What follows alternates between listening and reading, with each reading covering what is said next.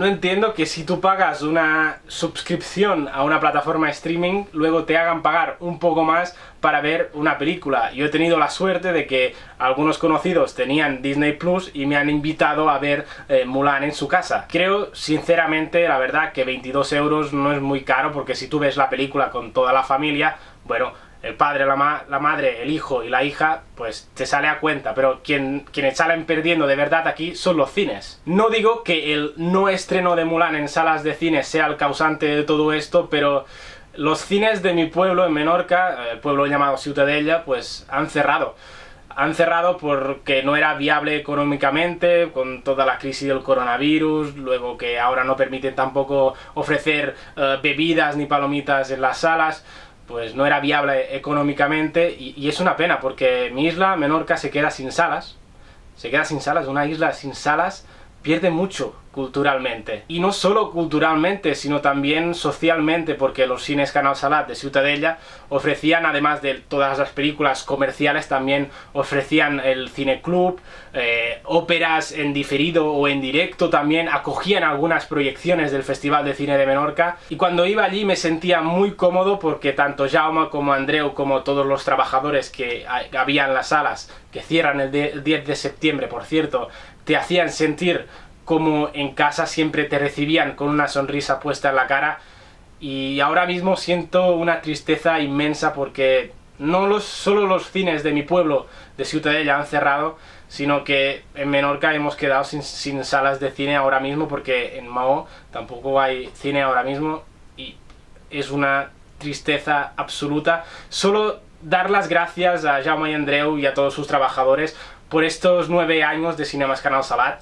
porque nos han hecho sentir muy bien y nos han, ofrecido cine de, calidad y un abrazo inmen, inmenso y mucho ánimo y dicho esto, bienvenidos a Cámara y Acción.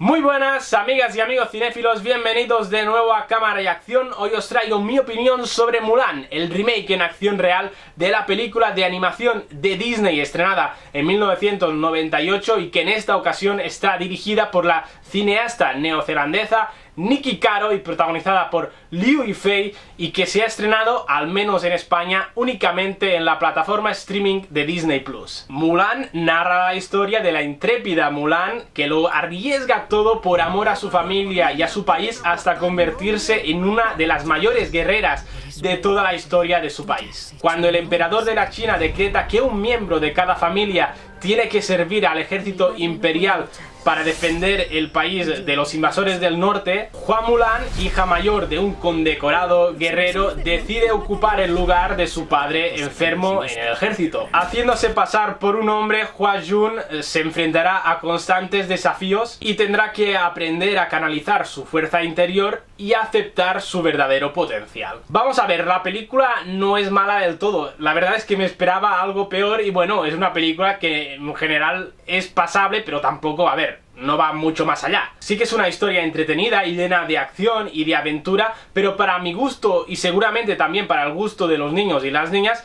falta algo de humor. Quizá con Mushu se hubiese solucionado un poco todo eso, ¿eh? No lo sé, Disney quizá con el personaje más emblemático, carismático y entrañable de la película de animación, se hubiese solucionado un poco todo eso en la película de acción real, ¿eh? No lo sé, Disney, pero bueno, quizá llámame loco, pero Mushu era un personaje muy importante para mí. Y también se tiene que decir que es una historia poco trascendente, a ratos algo aburrida, sin demasiado interés y sobre todo para mi gusto no me llegó a emocionar en ningún momento. Y que una película de Disney no te llegue a emocionar o no me llegó a emocionar a mí es raro porque a mí en las películas de Disney no, no, digo que llorar pero los pelos de punta algo pero es que en esta película no, no me enganchó todo esto no, no sé, no me llegó pero sí que en su defensa debo decir que se hace un gran esfuerzo para intentar adaptar la historia a nuestro tiempo. Moderniza en cierta manera la historia de 1998 y Nicky Caro, bueno, intenta dar su propio punto de vista al personaje, a la historia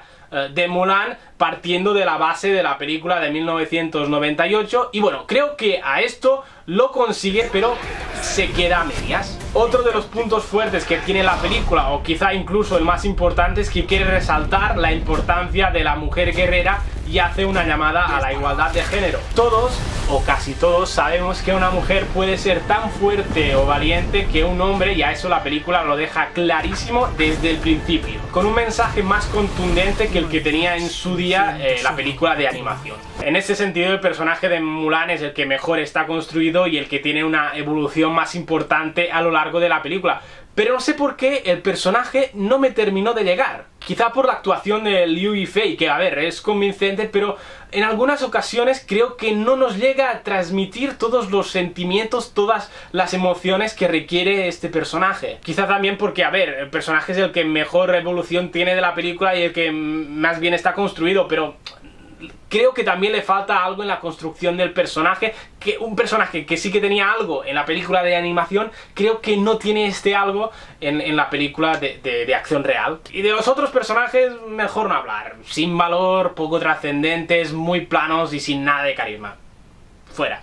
Y otro de los aspectos más buenos de la película es que técnica y visualmente es notable tiene un gran diseño de vestuario, un buen diseño de producción, el montaje también está muy bien, los efectos de sonido son notables y los efectos visuales ya ni te cuento porque visualmente la película es una pasada, aunque sí que tengo que decir que abusa un poco de la cámara lenta. Y también creo que abusa un poco de la banda sonora. A ver, tienen melodías que son muy interesantes, pero la banda sonora no nos deja respirar en ningún momento y en muchos momentos, en muchas escenas de la película, la banda sonora es la protagonista. A ver, no digo que esto sea malo, pero tampoco, bueno, a ver, a mí también me gustan las escenas en que no hay música de fondo y se puede escuchar la, escena, los diálogos sin, sin, escuchar música de fondo y estas películas, a ver, que tampoco los diálogos de esta película es que vayan muy allá, porque no tienen diálogos, no tienen diálogos profundos, alguno interesante tal vez, pero no el guion no es que esté muy bien tampoco de la película, pero sí que la banda sonora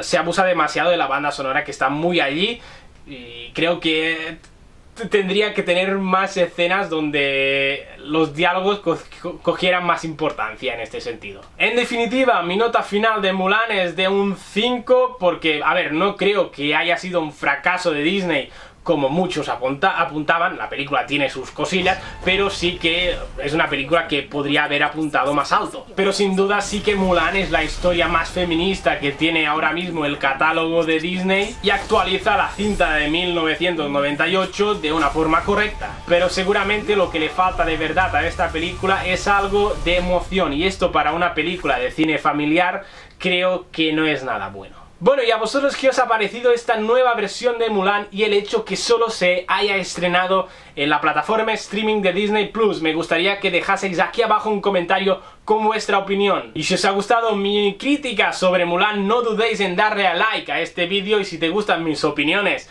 mis críticas, tampoco dudes en suscribirte. Nosotros nos vemos muy pronto. ¡Salud! ¡Y cinema!